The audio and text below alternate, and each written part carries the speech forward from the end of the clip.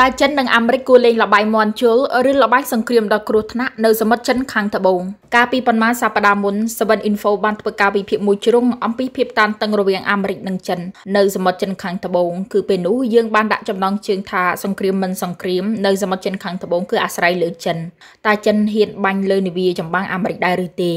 ឡូវនេះស្ថានភាពនៅសមុទ្រចិនខាងត្បូងកាន់តែធ្ងន់ធ្ងរទៅធ្ងន់ធ្ងរទៅបន្ទាប់ពីកងទ័ពប្រជាមានិតចិនបានបើកធ្វើសម្ពយុទ្ធទ្រង់ទ្រាយធំគឺសម្ពយុទ្ធទ័ពជើងទឹកដោយបាញ់កំជ្រួយអន្តរទ្វីបចំនួន2គ្រាប់ទៅធ្លាក់ក្នុងសមុទ្រចិនខាងត្បូងដែលកងទ័ពអាមេរិកស្ថិតនៅទីនោះតាមសេចក្តីរាយការណ៍ចិនក៏បានបាញ់កំជ្រួយវងប្រតិបត្តិការក្លែងជាច្រើនគ្រាប់ផងដែរនៅសមុទ្រលឿងភ្លាមភ្លាមអាមេរិកបានបញ្ជូននាវាចម្បាំងជាច្រើនគ្រឿងថែមទៀតទៅដាក់ពង្រាយនៅសមុទ្រចិនខាងត្បូងជាពិសេសគឺនៅប្រជុំកោះ Paracel សេចក្តីរាយការណ៍របស់ Navi.com បានចុះផ្សាយថានាវាចម្បាំងដែលផ្ទុកដោយកំជ្រួយគឺមានឈ្មោះថានាវា Mastin ហើយត្រូវបានរាយការណ៍មកថាបានទៅដល់ប្រជុំកោះ Paracel នាវានោះជាប្រភេទនាវាវាលោកអមដោយនាវានេះគឺមាននាវាពិឃាតជាច្រើនគ្រឿងដទៃទៀតតាមប្រភពដដែលនោះនាវានោះបានបើកចេញចូលយ៉ាងសកម្មនៅសមុទ្រចិនខាងត្បូងហើយជាពិសេសនៅប្រជុំកោះ Paracel សហរដ្ឋអាមេរិកប្រកាសថាខ្លួននឹងមិនដកកងទ័ពនិងកងនាវាចិនពីសមុទ្រចិនខាងត្បូងដាច់ខាតចាប់ពីពេលនេះតទៅគឺមានតែបន្ថែមថែមទៀតតែនេះគឺវាមិនមែនលបែងមន់ជូនោះទេគឺវាជាលបែងដែលទាញទៅរកសង្គ្រាមយ៉ាងពិតប្រាកដ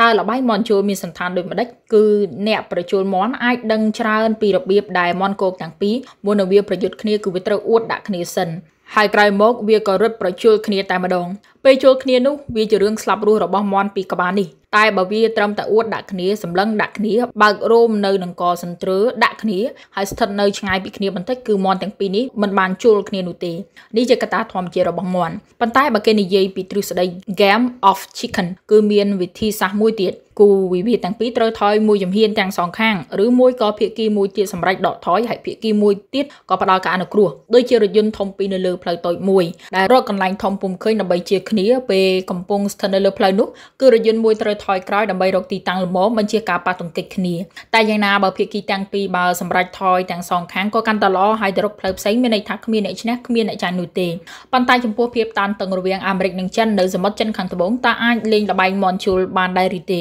ទំនងពុំអាចទៅរួចទេព្រោះស្ថានភាពនេះគឺទាំងអាមេរិកនិងចិនមិនបានគិតទៅរកដំណោះស្រាយអ្វីឡើយគឺមួយថ្ងៃទៅមួយថ្ងៃមហាអំណាចទាំងពីរនេះកាន់តែបង្កើនលបឿនតាមតឹងដាក់គ្នាទៅវិញទៅមក អស់ពីសហរដ្ឋអាមេរិកបើកធ្វើសម្ពយុទ្ធនៅសមុទ្រចិនខាងត្បូងដល់វេនចិនម្ដងចប់ពីចិនក៏ចូលវេនអាមេរិកម្ដងវិញចុះឡើងចុះឡើងជាទៅដល់ការបាញ់កំជ្រួយគំរាមគ្នានៅពេលនេះចិនបានបាញ់កំជ្រួយគំរាមអាមេរិកហើយដល់ពេលអាមេរិកធ្វើសម្ពយុទ្ធម្ដងក៏អាចធ្វើដូចចិនដែរគឺអាចបាញ់នៅសមុទ្រចិនខាងត្បូងនេះតែម្ដងបើដូចនេះមែនគ្មានផ្លូវដែលអាមេរិកនិងចិនរកវិធីដកថយដោយលបាយមន់ជូនោះទេ លបាយមនជុលគឺអាស្រ័យទៅលើភាគីទី3បើភាគីទី3គិតថាគូប្រកួតមិនអាចប្រយុទ្ធគ្នាទេគឺត្រូវយកវិធីឲ្យគូពីរនេះប៉ះទង្គិចគ្នាតតែបានសមុទ្រចិនខាងត្បូងភាគីដែលចង់ឃើញអាមេរិកមានព្រៀបលើចិនប្រហែលជាប្រទេសវៀតណាមច្រើនជាងគេហើយអាចថាហ្វីលីពីនគិតដូចវៀតណាមដែរចំណែកឯប្រទេសច្រើនទៀតនៅក្នុងតំបន់ក៏សម្លឹងឃើញប្រហាក់ប្រហែលគ្នានឹងហ្វីលីពីនដែរមានន័យថាសមាគមអាស៊ានភាគច្រើនត្បិតទទួលស្គាល់ថាចិនមានសក្តានុពលផ្នែកសេដ្ឋកិច្ចក្នុងតំបន់ក៏ដោយប៉ុន្តែมันអាចចាត់ទុកថាចិនជាដៃគូដែលមិនហត់ទឹកសម្លឹងកាកនោះទេ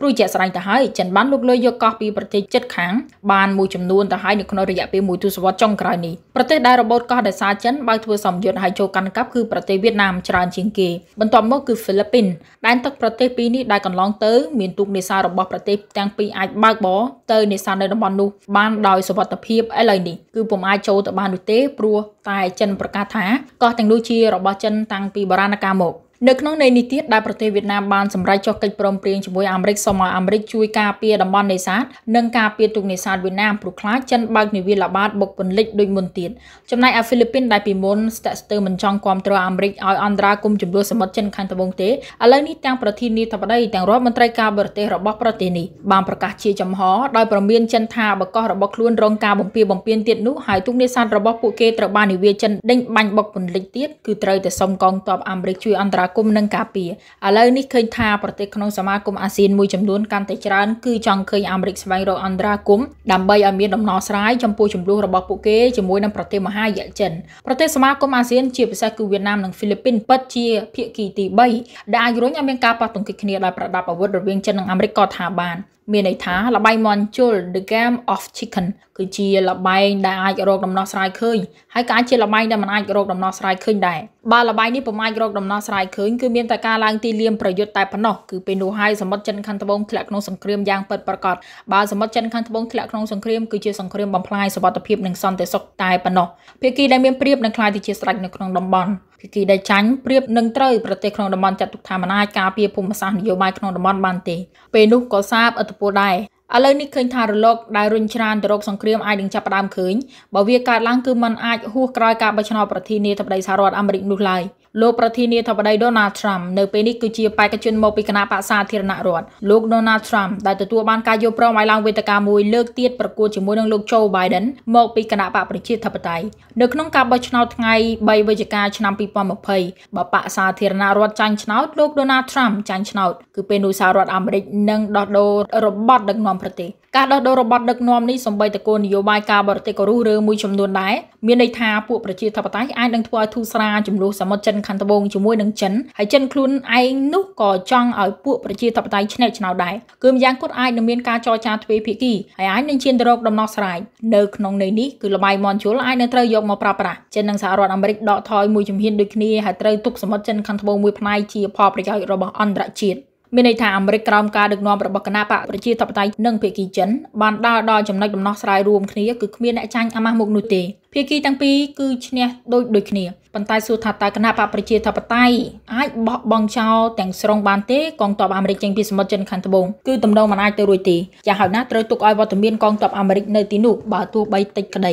បើត្រង់នេះភាគីចិនអាចទទួលយកបានក៏អាចរកដំណោះស្រាយឃើញដែរតែយ៉ាងណាបើដូណាល់ត្រាំបន្តឈ្នះឆ្នោតមួយអាណត្តិទៀតគឺភាពតានតឹងនៅសមុទ្រចិនខាងត្បូងព្រោះត្រាំឈ្នះឆ្នោតក៏អាចចេញពីភាពខ្លាំងរបស់ពួកសេតាវិមានដែរបើដូចនេះត្រាំត្រូវតែបង្ខំឲ្យចិនទទួលយកសម្ពាធរបស់អាមេរិកនិងទទួលយកសម្ពាធរបស់សហគមន៍អន្តរជាតិសួរថាតើចិនអាចទទួលយកបានដែរឬទេទំនងចិនក៏ពិបាកទទួលយកសម្ពាធអាមេរិកដែរ បើទទួលយកសម្ពាធអាមេរិកចិនគឺចោះចាញ់មិនត្រឹមតែផ្នែកកងទ័ពទេគឺចោះចាញ់អាមេរិកទាំងនយោបាយឬសន្តិសុខទៀតផងហើយអាចបាត់បង់ភាគខ្លះនៃផលប្រយោជន៍របស់ចិននៅសមុទ្រចិនខាងត្បូងអាមេរិកមិនមែននិយាយលេងសើចទេនៅពេលនោះមិនមែនជាមហាអំណាចតែឈ្មោះនោះឡើយគឺជាមហាអំណាចយ៉ាងពិតប្រាកដអាមេរិកខ្លាយជាចន្ទោដ៏រឹងមាំរបស់ប្រទេសសមាគមអាស៊ានទៀតផងនេះយើងមិននិយាយអំពីសង្គ្រាមទេគឺយើងនិយាយក្នុងកម្រិតដំណោះស្រាយដោយសន្តិវិធីតែប៉ុណ្ណោះបើនិយាយពីសង្គ្រាមវិញចិនមិនប្រកាសថាមានព្រៀបជាងអាមេរិកឡើយត្បិតចិននៅគៀកបង្កាយសមុទ្រចិនខាងត្បូងក៏ប៉ុន្មានហើយម្យ៉ាងទៀតចិនគ្មានសម្ព័ន្ធភាពច្រើនទេដើម្បីការពារចិនទប់ទល់នឹងសហរដ្ឋអាមេរិកនិងសម្ព័ន្ធភាពអាមេរិកប្រទេសសម្ព័ន្ធមិត្តដែលអាចធ្វើឲ្យអាមេរិក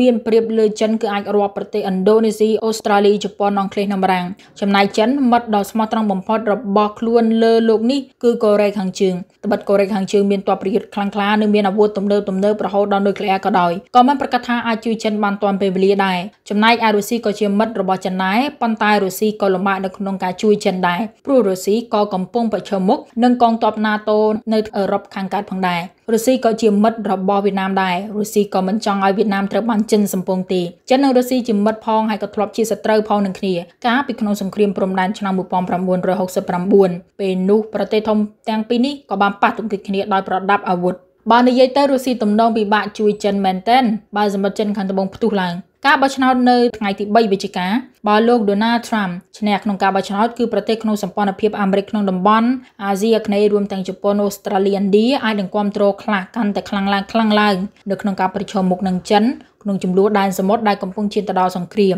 Trump និងសេតាវិមានរបស់លោកជាពិសេសរដ្ឋមន្ត្រីការបរទេស Mike Pompeo និងរដ្ឋមន្ត្រីការពារជាតិ Mark Esper កាន់តែមានអំណួតនៅក្នុងការប្រើប្រាស់នយោបាយការបរទេសនិងផ្នែកវិស័យការពារជាតិដើម្បីសង្កត់កប្រទេសចិនខ្លាំងឡើងខ្លាំងឡើង ពេលនោះនាវាចម្បាំងរបស់អាមេរិកដែលកំពុងបណ្តែតខ្លួននៅសមុទ្រហ្វីលីពីននិងសមុទ្រជិតខាងត្បូងមានទាំងនាវាផ្ទុកយន្តហោះធំធំពីរគ្រឿងគឺ USS Ronald Reagan និង USS Roosevelt ដែលនៅកោះ Guam និងមកកាន់សមុទ្រចិនខាងត្បូងថែមទៀតកម្លាំងសហរដ្ឋអាមេរិកនិងអធិបតេយ្យអាមេរិកនៅអាស៊ីអាគ្នេយ៍ក៏កាន់តែមានសន្ទុះខ្លាំងឡើងហើយចិនក៏កាន់តែថមថយប៉ុន្តែអាស្រ័យទៅលើចិនខ្លួនឯងទេថាតើត្រូវបង្ហាញកម្លាំងយោធាកាន់តែខ្លាំងថែមទៀតប្រឆាំងអាមេរិកឬក៏ដូចម្ដេចការដែលចិនប្រើប្រាស់សម្ពាធជើងទឹកបាញ់កំជ្រួចអន្តរជាតិទៅសមុទ្រចិនខាងត្បូងគឺជាការបង្អើយ៉ាងពិតប្រាកដទៅលើកងទ័ពសហរដ្ឋអាមេរិកដែលប្រាប់ថាចិនមិនចោះញោមនឹងការធ្វើសង្គ្រាមនឹងអាមេរិកទៀតទេនៅក្នុងស្ថានភាពណាក៏ដោយសកម្មភាពរបស់កងទ័ពចិនព្រមានកងទ័ពអាមេរិកនោះគឺប្រកាសណាស់បើដូណាល់ត្រាំជាប់ឆ្នោតគឺចិនទំនងជាប្រថុយប៉ះទង្គិចមួយប្រាយនឹងកងទ័ពសហរដ្ឋអាមេរិកព្រោះតែចង់ដឹងថាតើអាមេរិកហ៊ានប៉ះជាមួយខ្លួនដែរឬទេ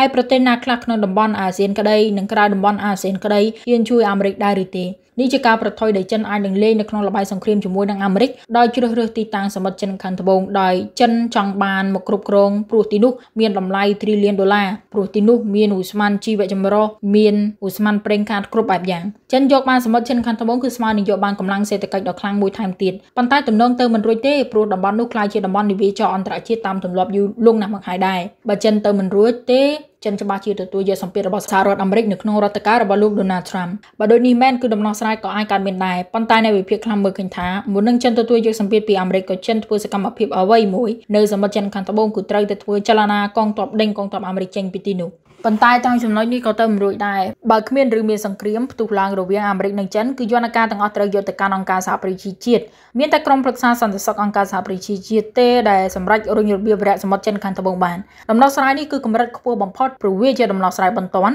គឺស្មើនឹងពិភពលោកប្រកាសអាសន្នសមុទ្រចិនខាងត្បូងត្រូវតែមានសន្តិភាពនិងចែកផលប្រយោជន៍គ្នាទៅវិញទៅមកក្នុងតំបន់នោះជាមួយនឹងប្រទេសជាប់ពាក់ព័ន្ធទាំងអស់ ចិនអាចនឹងចាញ់ក្តីនៅក្នុងស្ថាប័ននោះគឺមិនមែនចាញ់ក្តីអាមេរិកទេគឺចាញ់ក្តីនឹងប្រទេសក្នុងតំបន់អាស៊ានហើយបាក់មុខនៅចំពោះអាមេរិកសម្រាប់ក្រុងវ៉ាស៊ីនតោនមានប្រៀបលើឆាកអន្តរជាតិតើចិនអាចទទួលយកបានទេនៅគំនាបរបស់អាមេរិកនិងប្រទេសសម្ព័ន្ធមិត្តបើចិនក្នុងនាមជាសមាជិកអចិន្ត្រៃយ៍របស់ក្រុមប្រឹក្សានេះបោះឆ្នោតជំទាស់ថាតើត្រូវរកយន្តការអ្វីទៀត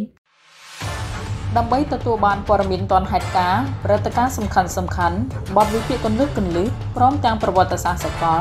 សូមចូល Subscribe Channel YouTube ព្រឹត្តិការណ៍ប្រចាំថ្ងៃ7 Info